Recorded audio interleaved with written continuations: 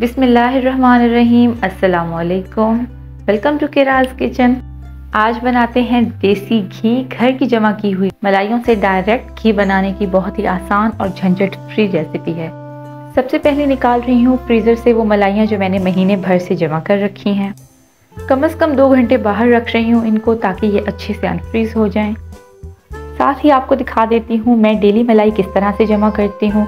मलाइयाँ कभी भी गर्म दूध के ऊपर से नहीं उतारते हैं। दूध हमेशा ओवरनाइट फ्रिज में रखा हुआ ठंडा होगा तो उससे मलाई जो है वो काफ़ी थिक निकले। तो आज की फ्रेश मलाई भी इसमें शामिल हो चुकी है। बाकी मलाइयाँ भी जो हैं वो अच्छे से अनफ्रीज हो चुकी हैं। तो चलें इनको शिफ्ट कर देते हैं एक खुले बड़े पतीले में। कंटेनर से मलाई बहुत अच्छे से साफ़ करनी है, क्योंकि ये हमारे महीने भर की मेहनत होती है। हम इसको बिल्कुल भी वेस्ट नहीं कर सकते। अब सारी मलाइयाँ जो हैं वो पतीले में ट्रांसफ़र कर दी हैं। अब इस पतीले को उठा कर रख देते हैं हम स्टोव पे। मीडियम हाई फ्लेम पे हम इसको अच्छे से पिघला लेते हैं ताकि ये सारी मलाई जो है एक बार लिक्विड फॉर्म में आ जाए। जब मलाई लिक्विड फॉर्म में आ जाए और उसमें बबल्स बनने लग जाएँ तो यहाँ पर आपने शामिल करना है दो टेबल स्पून के करीब गंदम का आटा या फिर आप सूजी। इन दोनों में से कोई एक चीज़ आप इसमें ऐड कर सकते हैं। मैं यहाँ पर इसमें ऐड कर रही हूँ गंदम का आटा। अब इसको अच्छे से मिक्स कर लेना है। अब जो हमारा नेक्स्ट पॉइंट है उसमें हमने सिर्फ़ ये जो इसके अंदर दूध और पानी है इसको खुश्क कर लेना है। देखिए जब एक बार पाँच मिनट लगते हैं दूध और पानी बिल्कुल खुश्क हो जाता है। अब आप, आपने इसको हल्की आँच करके कवर करके रख लेना है। दस मिनट के बाद आपका जो घी है वो अलहदा हो चुका है। इसको किसी भी साफ़ और ड्राई कंटेनर में इसको ट्रांसफ़र कर लें।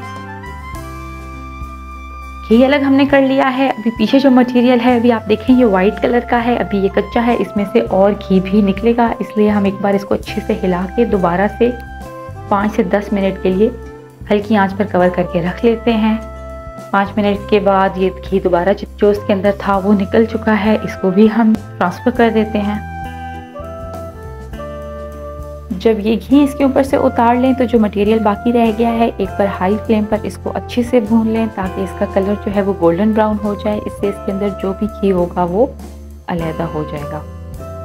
थोड़ा सा जो इसके ऊपर घी आया है, इसको हटा लेते हैं। इसके बाद आपने क्या करना है कि एक बड़ा स्ट्रेनर ले लेना है। उसके अंदर आपने इस मटेरियल को शिफ्ट कर देना है। और ऊपर से इसको स्पून की मदद से प्रेस करना है। क्योंकि इसके अंदर बहुत ज़्यादा घी अभी भी मौजूद है। तो हम इसको प्रेस कर लेते हैं।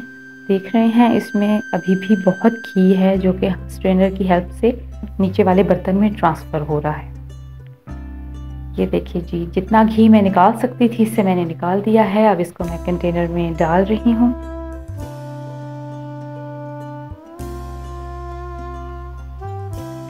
बहुत ही आसानी से डायरेक्ट मलाई से हमारा जो घी है वो बनकर तैयार हो गया है। कोई बहुत ज़्यादा झंझट भी नहीं है।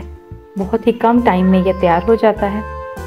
आप इसको स्टोर करके रख सकते हैं फ्रिज में रखें, बाहर रखें, जितने टाइम के लिए भी रखें, ये कभी भी ख़राब नहीं होता। इसका वेट कर लेते हैं। अगर हम कंटेनर्स का वेट निकाल कर देखें, तब भी तकरीबन वन के के करीब हमारा जो घी है वो बनकर तैयार हो गया है। अगर आपको वीडियो पसंद आए तो प्लीज़ चैनल को सब्सक्राइब करें, वीडियो को लाइक करें